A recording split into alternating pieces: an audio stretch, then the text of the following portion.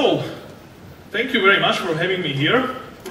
And I will talk a little bit about our experience towards this microservice event Axon thing and how it worked out for, for us.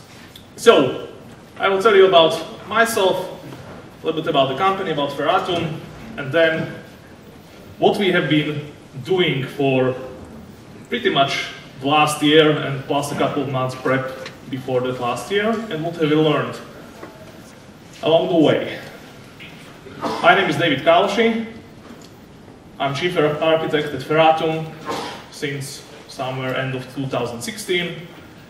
And amongst other, I'm holding the ownership of something which is called the Smart IT program, which is one of the development programs we launched within our company. I have roughly 17 years experience in the industry, mostly financials, some slides telco, I'm a tech geek by any means because I truly believe that technology is moving this world forward. And as I found out, I'm a culinary expert because spot the error. Here. so whoever did print these cards, thank you. Okay, Ferratum. So we are a Finnish-based company.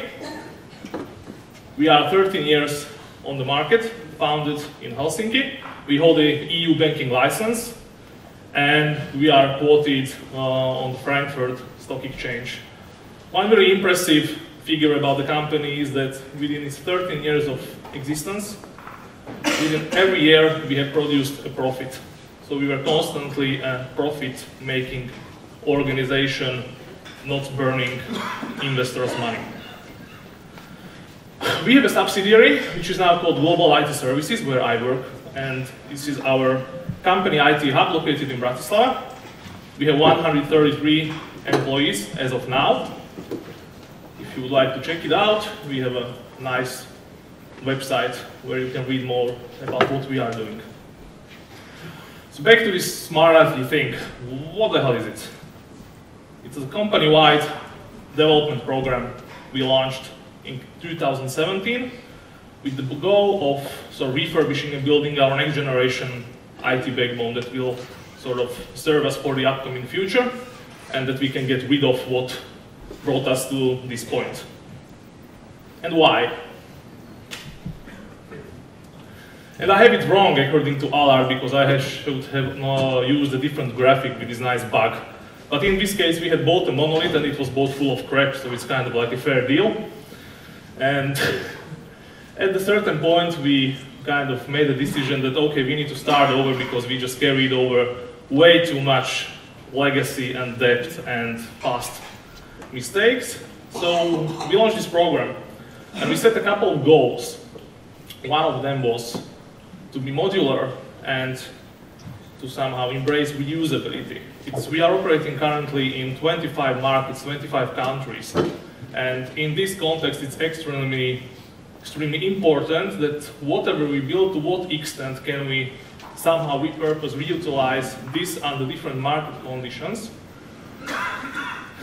Then, based on our past mistakes, we wanted to extract both business processes, business rules, away from the code. So get it outside of, of whatever Java-based code. Then we wanted to have data flowing here and there in real time. So no more batches, real-time information to, to scale whatever possible. And of course, whatever we build, since we are building up for the future, should be eventually scalable. And the main goal of this exercise is not to introduce some fancy new tools and, and whatever, but to have a significant impact towards our business, and this is most importantly reduce time to market, meaning the sort of this business agility we have been talking already here today. That's okay. How fast can I get from the from an idea to to a product and to to a launch? And this is what we've built, or this is what we've envisioned within the smart IT concept. We have some channels, which in our case are either web-based or mobile-based.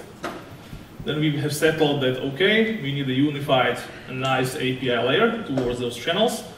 Here, after heated discussion, we went on to try out and, and do a graph-based API instead of REST, because we felt that this is much more flexible towards UIs and user experience because we can pretty much pick whatever the data we would like in one query and have the screens really flexible without having to do three, four, five, I don't know how many round trip towards the REST endpoint to get all the data that we need in these composite UIs.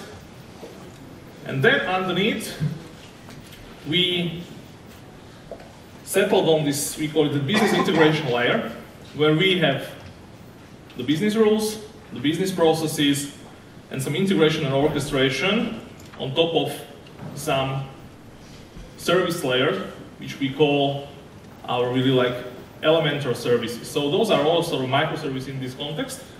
But the biggest difference between them is that the blue ones, they are not allowed to hold any logic.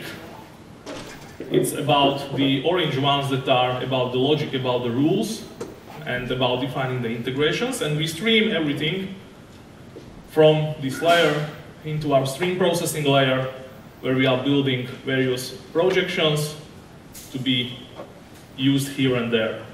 So that's kind of the concept. And now, how to eat this elephant?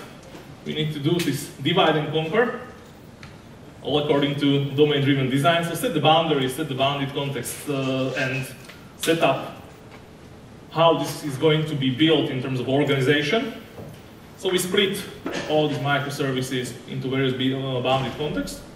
And the goal of this exercise was to have a clear ownership. And this also shaped the whole organization because we reshuffled and reorganized all the development teams around this split. That, okay, if we now have these microservices, one of the biggest benefits of them is that in theory, more people should be able to work on them. So we wanted to make sure that we kind of diminish whatever conflicts and dependencies between the teams.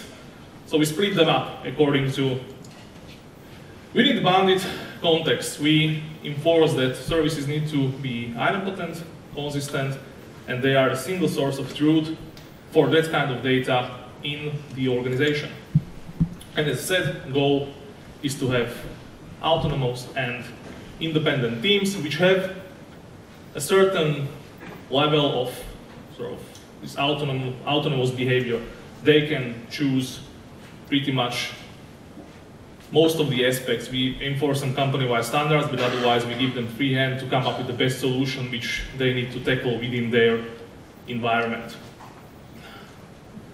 In terms of technology, what we, what we run, what we do. So we are a Java-based shop now. Spring Boot is our main backend stack, we use a little bit of Scala together with Kafka Streams for this uh, data streaming part. We settled for uh, Apache Avro as sort of message serialization format because we wanted to make sure we are able to talk to systems outside of the JVM world. So we went for uh, this cross-platform serialization. We did research between couple of them settled for Avro. For these business processes, which we have a great deal of them because of this like geographic presence, we are using Camunda, where we model and run our business processes or our long-running business processes, and it also does process orchestrations. To a certain extent, it almost behaves like a saga because we built all our processes that they react on the back on the, to message-driven gateways. So kind of really similar approach. We were also thinking back of them about sagas, but find out that it's pretty much impossible to nicely encapsulate this business logic and this flow in, in, in Java code, in plain Java code. And as mentioned, we use the Apollo stack on, on the API, on the public API layer, and that is built uh, in Node.js in TypeScript. So what we built is we call it this FerraOS this Ferratum operating system. And in a nutshell, it's uh, up to date. I was trying to pick some interesting numbers. So it's 35 plus microservices as of now. This plus means because we have like many, many country-specific data sources we are utilizing, so this number is growing. Which were implemented, we ran them all within a container platform. We went for OpenShift, so everything is running within, a, within an OpenShift cluster. This our stream processing components, which we are used to build the projections toward, let's say, what we show on the channels. It's an average of 18 milliseconds currently. We have a latency that we are able to build these, these projections based on the influx of events from, from the various systems. So it's indeed as real time as it gets now. And to get us to this stage, it took us if we are not counting the preparation phase, 12 months. So from development start to our first production pilot, this was done within a time span of 12 months. We started in August 2017 and, and went into the first pilot production a year later. So what's the role, what's the role of Axon in, in this whole endeavor? And why we did pick Axon. So my experience with Axon started before I even joined the company. I've pretty much discovered by accident back then, and then kind of started to started to play around with it, started to use, and and the more I was getting familiar with it, the more sense it made that okay, there is something really to build applications in in the way this technology promotes. I even pushed a couple of commits back in the day when I had more time to do some actual work. We like it because it promotes the decoupled architecture by its, its, its nature. And also forces you into this domain-driven design thinking, just by the way how it's laid out. It's, you have to kind of switch your, switch your mind. And the code that it produces is, is really clean because of these separations and because of this you, you, you know where what belongs and it's easy to, to take a project and, immediately sort of get a feel what's, what's going on inside. And it's microservice friendly per nature. So we did not build the whole platform using Axon. We chose a couple of services where it made sense for us. And this is pretty much our questionnaire in a nutshell, where we were deciding that, okay, do we use Axon, do we use event sourcing, or, or no? And it boils down to roughly to these four questions. If the intent is equally important as the outcome, or is auditing a key concern, is, is the transition data that important as, as the actual state? And whether we need to have the ability to see aggregates in time. If the answer is yes to most of these questions, then it makes sense to embark on this kind of technology. And this is what we, we did, and I will show you a couple of use cases where we went for the Axon implementation. First one is within our identity management bounded context we have both our customer database, our primary customer database, and our consent management system. Both are built using Axon. And funny thing that those two used to be like one deployment, one service, but we split them out. So yes, indeed, what Allard is talking about, that it's easy to move out. It's true because we've separated this somewhere halfway along when we, when we found that okay, this system is getting way too complex and, and starts to handle much more than we feel it should. We just decided, okay, now we take out this aggregate root and move it into a separate deployment, and that's it. And both these services stream data towards our Kafka infrastructure, where we do the transformation towards these uh, Avro message types. And on top of it, we have a facade which is encapsulating business operations on top of this uh, bounded context. What are the benefits for us? In this case, using Axon, we have an audit of sensitive data. So it's customer data, and we know each change, when, why it happened. We can see the state of the aggregate within time. So in cases that, let's say, an account could be compromised and something would be changed, we can really trace back that, okay, this is the point in time where it happened. Eventually, we can even fix it by sort of canceling out those events and returning the aggregate to the correct state. So, yeah, the ability to reconstruct in time.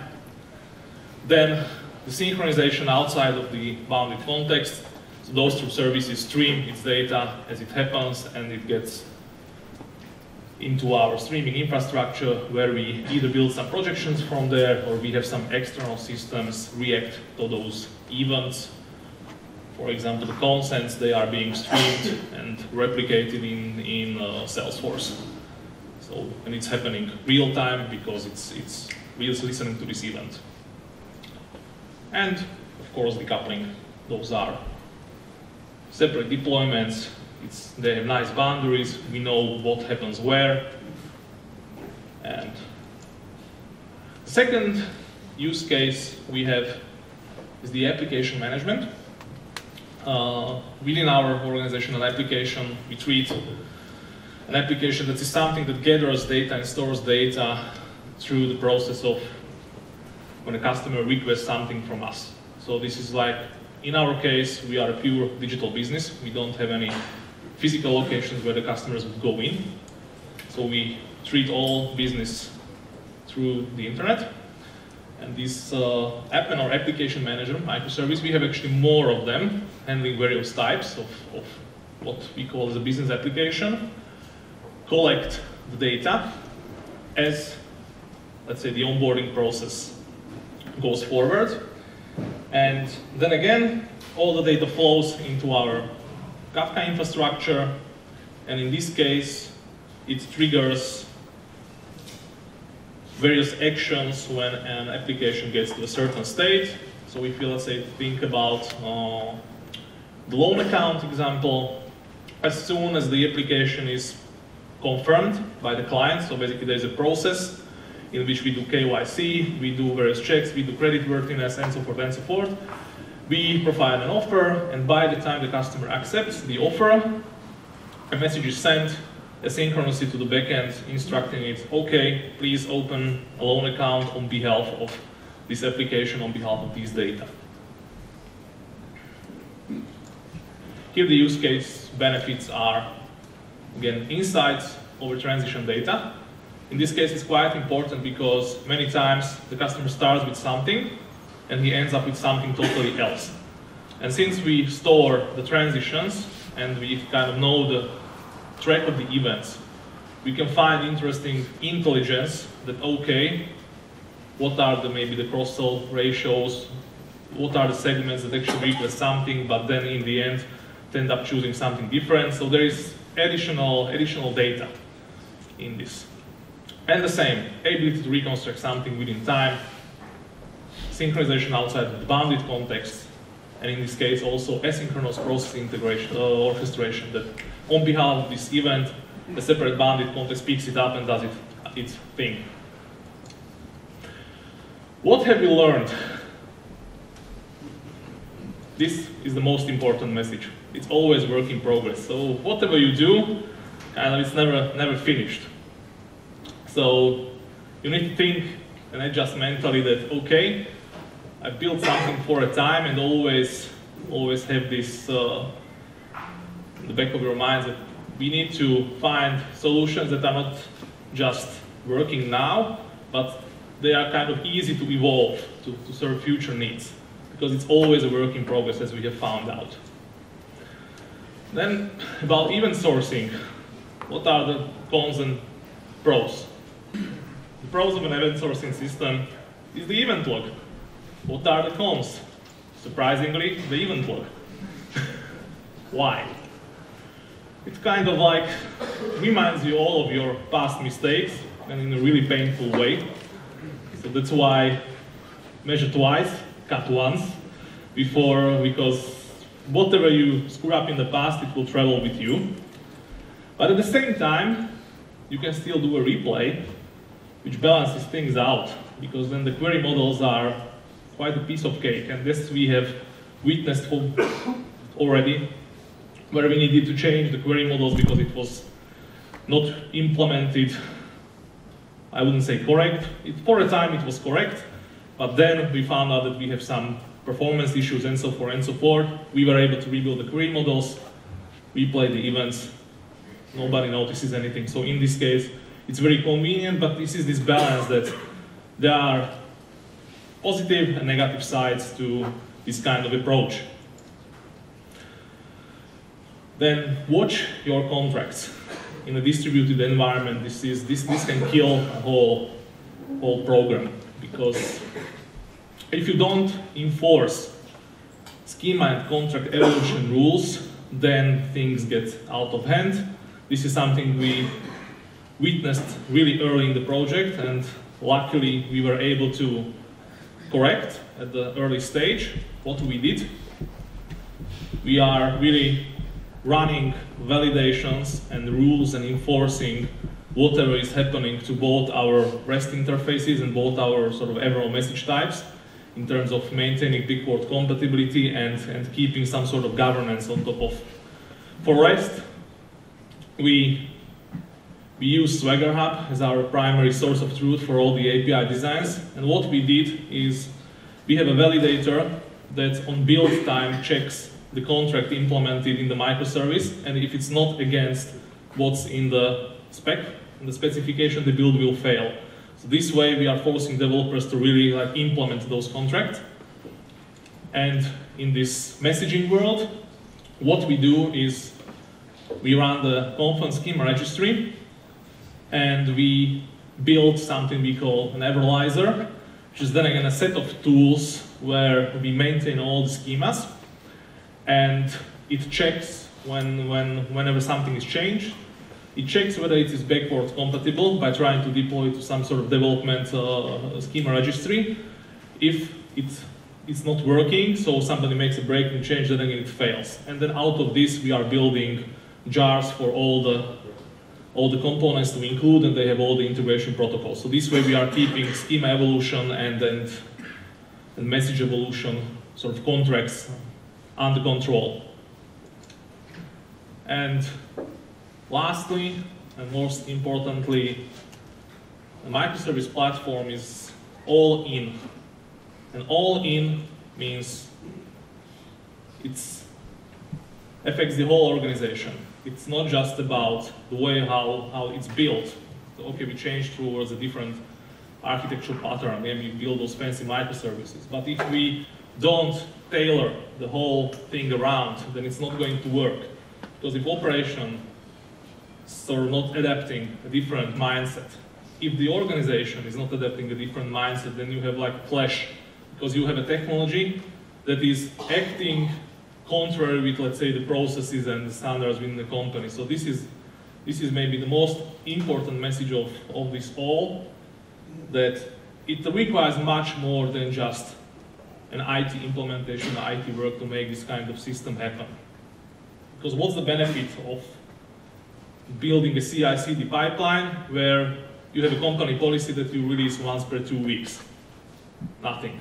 Yeah, so those kinds of like constraints, those need to be aligned. So that's about our journey. Thank you very much. In case you have any questions, either now or later, feel free to